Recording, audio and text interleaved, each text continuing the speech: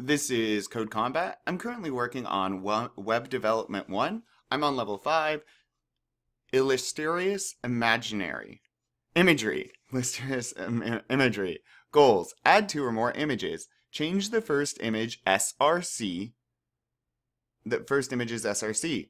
The IMG tag requires a SRC attribute, which stands for source source, not screen because the R comes first. It's actually source. Anyways, IMG tag requires an SRC attribute. To add an attribute, include it between the less than sign and greater than sign. All right. So that language sounds confusing, but we'll dive in. So let's see what we have here. Remember, this is a comment in HTML. Comments don't show up on websites. It's just stuff programmers can read, and it's helpful stuff in Code Combat. So let's see. Change this SRC.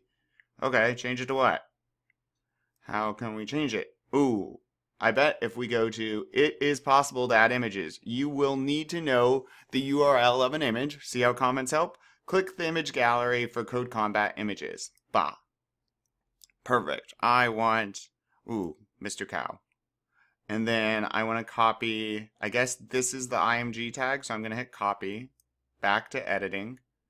And now I'm going to delete this and I'm going to hit control. Actually, I can show by right clicking and paste. Ta-da! Cow. Add two more images to fill up the page. Oh, okay. So I'm going to hit image gallery again and just pick whatever.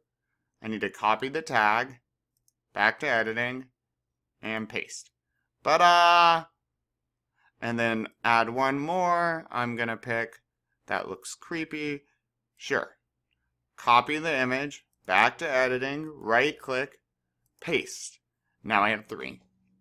Awesome. Let's keep going.